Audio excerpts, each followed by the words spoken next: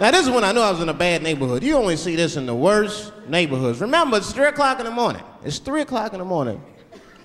I look out the window. It was a fucking baby standing on a corner. The baby, the baby didn't even look scared. He was just standing there.